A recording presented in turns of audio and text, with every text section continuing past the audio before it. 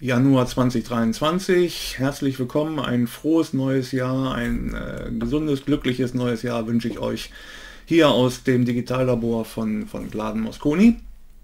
Ähm, wir haben lange kein Video mehr gebracht, wir sind lange überfällig mit äh, Knowledge und Tutorials und dann starten wir direkt ins neue Jahr mit so einem hochtrabenden Titel Revolution des DSP-Einstellens. Was es damit auf sich hat, wenn ihr mehr erfahren wollt, bleibt dran. Ich glaube, es wird spannend.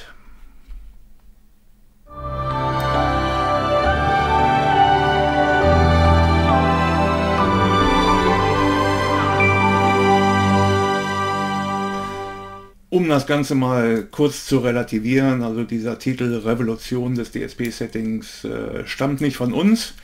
Das ist ein Feedback, was uns erreicht hat auf die neuen Funktionen. Ähm, Gut, nichtsdestotrotz, ähm, ich habe gelogen.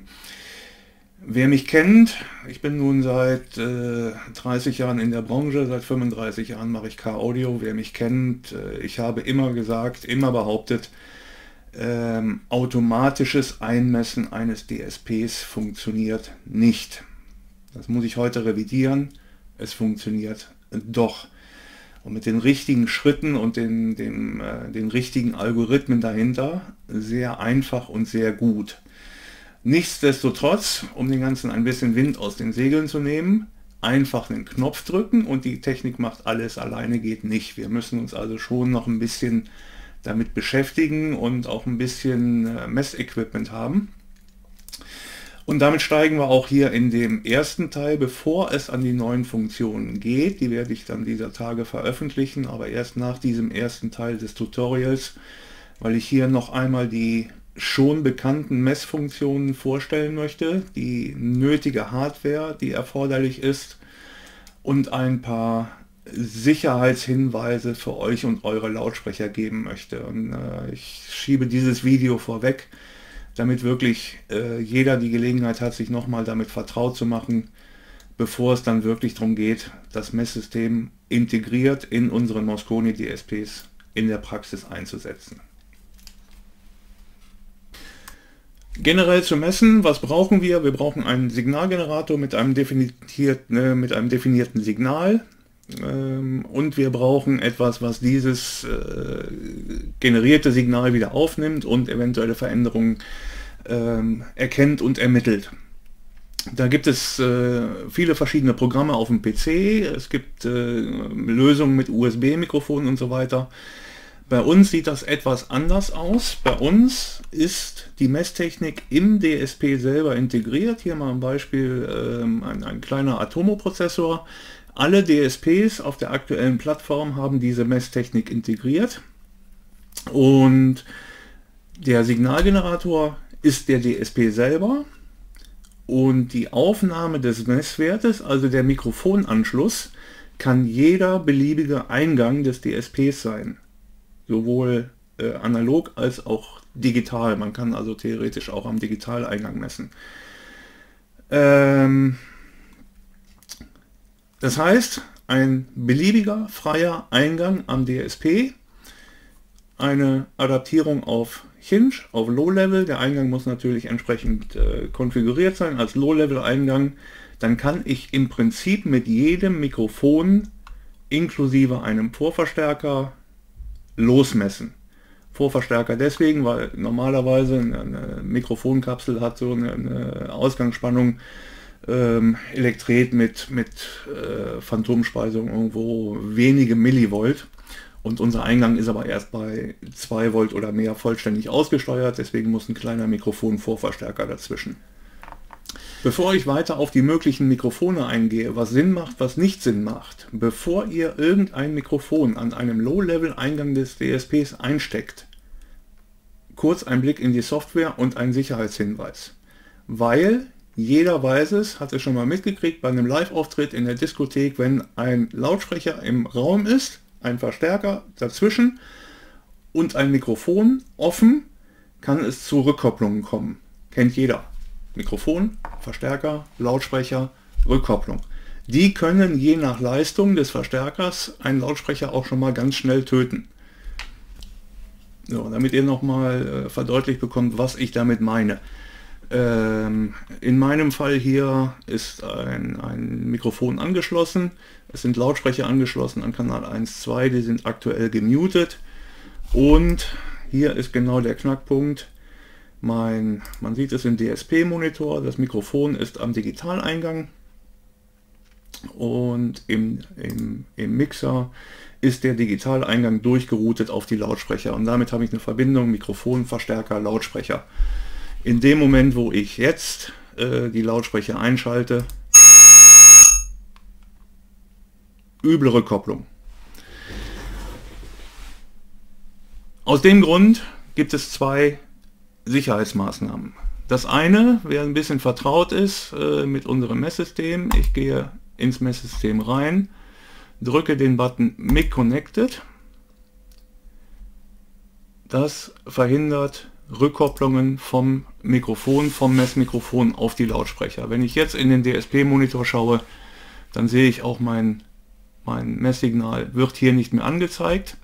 In dem Moment, wo hier Mic Connected aktiviert ist, ist der Eingang nur noch aufs interne Messsystem geschaltet aber die Eingänge an sich auf den Mixer sind alle gemutet. Damit kann schon mal nichts passieren. Ähm, als zweite Sicherheitsmaßnahme, wer jetzt vielleicht ein bisschen unsicher ist am Anfang, ähm, die ersten Schritte mit dem Messsystem macht und verhindern will, dass er aus Versehen auf diesen Button kommt und die Eingänge wieder freischaltet, der geht dann zusätzlich noch in den Mixer und setzt den kompletten Mixer auf Null. Damit ist nämlich genau an dieser Stelle im Mixer die Verbindung unterbrochen vom Eingang vom Mikrofon zu den Lautsprechern. So, und jetzt, wenn ich das gemacht habe, bin ich auf der ganz sicheren Seite. Eigentlich reicht der Button Mic Connected schon, wenn er später ein bisschen, ein bisschen mehr Routine hat, ein bisschen mehr Erfahrung oder die Jungs, die täglich damit arbeiten, ähm, die wissen, welchen Knopf sie drücken. Mic Connected reicht eigentlich.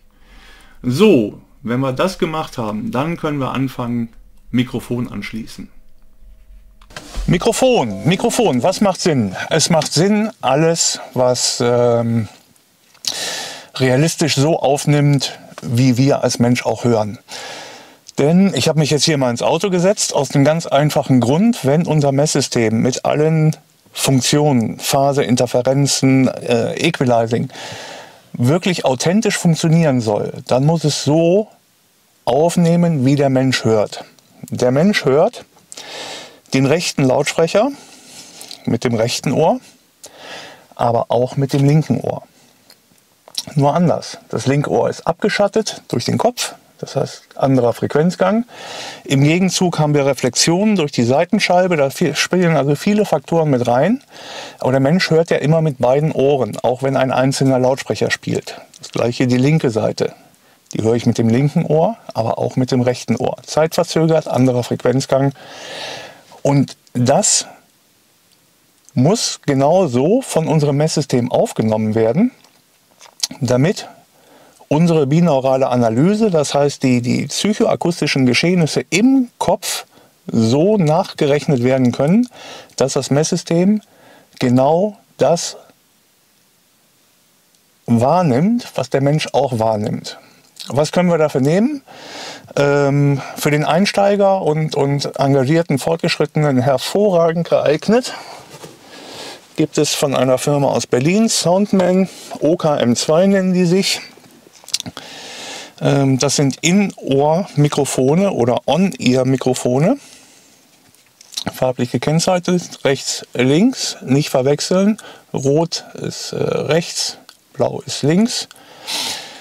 Die setzt man im Ohr ein. Dann gibt es auch den, den kleinen Vorverstärker zu, der ist batteriebetrieben. Dann gibt es keinen Ärger mit, äh, mit, mit Rausch- oder Brummschleifen oder ähnlichem diesen kleinen Vorverstärker an den Eingang des DSPs und wir können schon losmessen. Hervorragende Lösung. Unten in den Kommentaren, in, in der äh, Videobeschreibung verlinke ich mal die, die, Äh, den Link zu, zu Thomann, wo das Mikrofon zu bestellen ist, gibt es auch für ein paar Euro mehr in der Studioausführung gematcht. Also das ist schon mal hervorragend geeignet, weil es halt genau so das aufnimmt, was bei uns am Kopf, an unseren Ohren ankommt. Alternativ ähm, für unsere Händler, unsere Profis in, in Kürze unser Barney-System, unser äh, binaurales Messsystem in, auf, auf Kunststoffbasis. Ähm, ist ein bisschen praktischer, weil es fest im Auto fixiert werden kann und äh, sich die Position während der Messungen nicht verändert. Das heißt, die Messung ist dann auch immer wieder hundertprozentig reproduzierbar. Die Mikrofonkapseln sind, sind noch mal ein bisschen hochwertiger und äh, dazu auch für unsere Fachhändler ähm, die kleine Mikrofonvorverstärkerkarte direkt für den BT Plus Port. Dann haben wir direkt eine digitale Verbindung des äh, Mikrofons in den DSP. Die kleine Karte funktioniert auch mit dem OKM2, auch kein Problem. Das ist äh, ein, ein Pegelverhältnis, ein Level. Also alles, was mehr oder weniger realistisch das aufnimmt, was der Mensch, was am menschlichen Kopf an den Ohren ankommt, ist für unser Messsystem geeignet. Ähm, für die verschiedenen Mikrofontechniken hinterlegen wir verschiedene Referenzkurven und Korrekturkurven, ähm, damit, egal was ihr am Ende benutzt, auch ein, ein authentisches Ergebnis dabei rauskommt. Was funktioniert, allerdings im Ergebnis verfälscht ist, man muss es dazu sagen, sind die bekannten Mono-Stabmikrofone, äh, Behringer ECM 8000, äh, diverse Messmikrofone mit Kugelcharakteristik als Monomikrofon auf dem Fahrersitz aufgestellt. Ganz einfach, weil die, diese Reflexion und diese Abschattung links, rechts ähm, können, die, können die ja nicht wahrnehmen. Ähm, die messen im Prinzip links genauso wie rechts ohne Abschattung. Ähm, die Reflexion direkt, die kommt genauso auf der linken Seite an. Das funktioniert bedingt. ähm, Laufzeitmessungen sehr gut. Äh, nicht perfekt, weil wir messen linkes Ohr, linker Lautsprecher, rechtes Ohr, rechter Lautsprecher. Ähm, wie, wie es korrekt ist, das geht mit einem Monomikrofon nicht. Äh, Interferenzen lassen sich gut messen. Ähm, Phasen einmessen funktioniert auch noch sehr gut, aber beim Frequenzgang hört es dann auf, weil es einfach nicht realistisch das ist, was, äh, was der Mensch wahrnimmt. Wenn ihr zumindest für den Anfang ein, ein äh, Messmikrofon, ein Stabmikrofon habt und das in der Mono-Version benutzen wollt, dann bitte beachten, der Mono-Ausgang des Mikrofonvorverstärkers muss auf beide Eingänge des DSPs geschaltet werden, also links und rechts, weil der DSP, ähm, je nachdem welchen, welcher Lautsprecher gemessen wird, ähm, zwischen links und rechtem Eingang umschaltet und die, die binauralen Messungen auch simultan macht, rechts und links, sonst fehlt halt eine Seite. Ja, das ist das Einzige, was zu beachten ist, äh, Thema Mikrofon. So, zum Schluss noch ähm, kurzer Überblick über das Messsystem selber, ähm, kurzen Funktionstest Mikrofon und Übersicht über das Messsystem.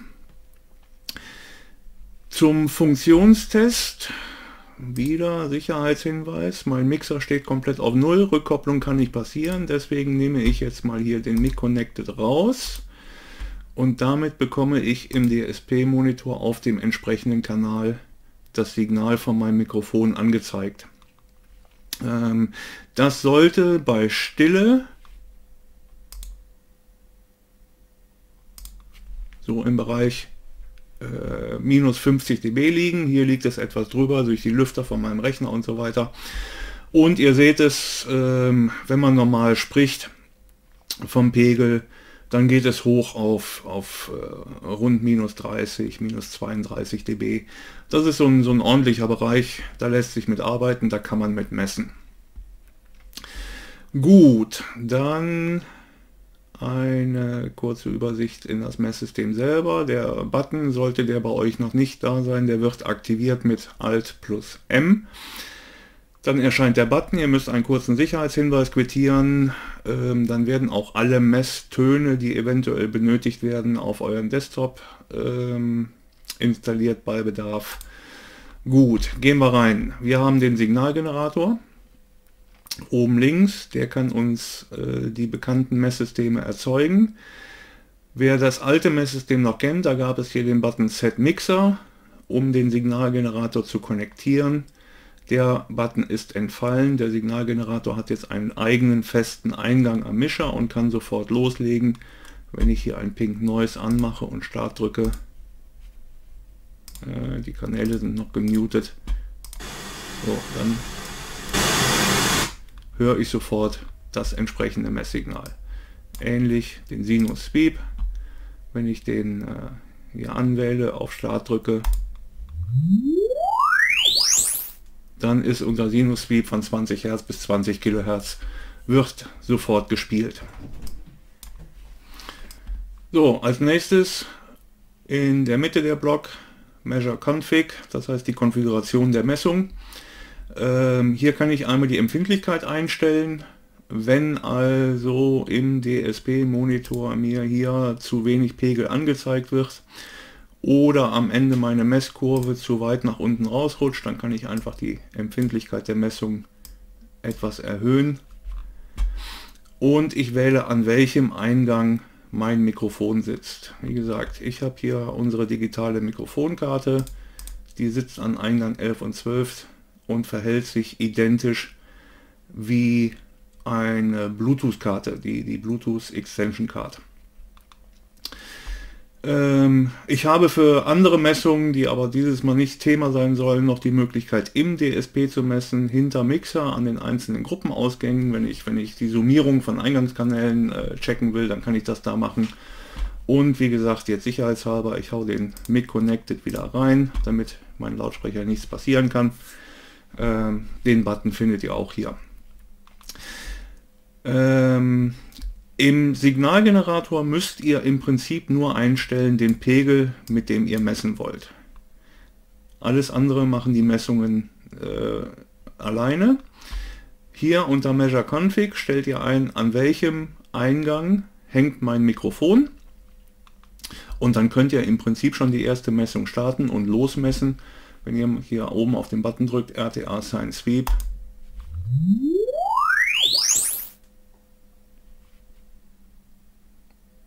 dann wird hier schon der Frequenzgang gemessen und angezeigt.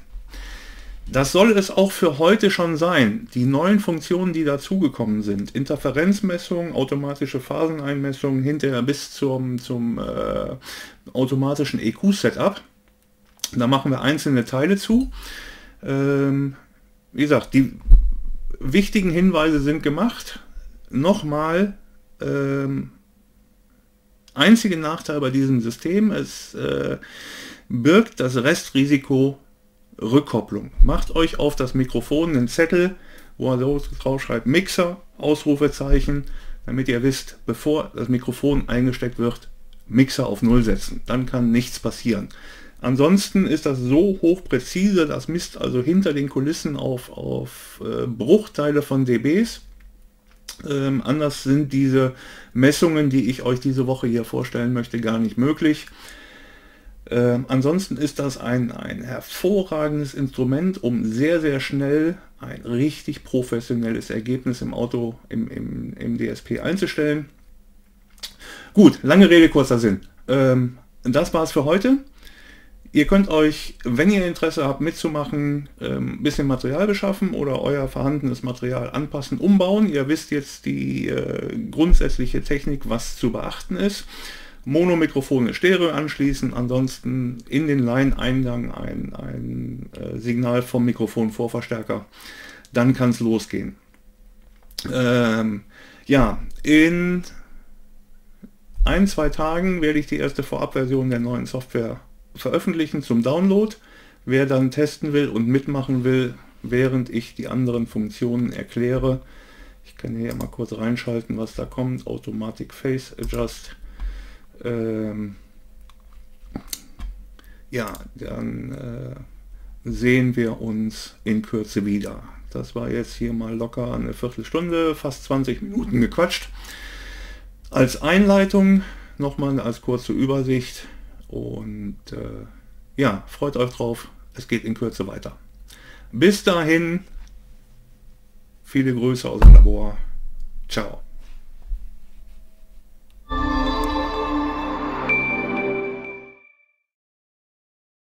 Ja, nochmal ganz kurz.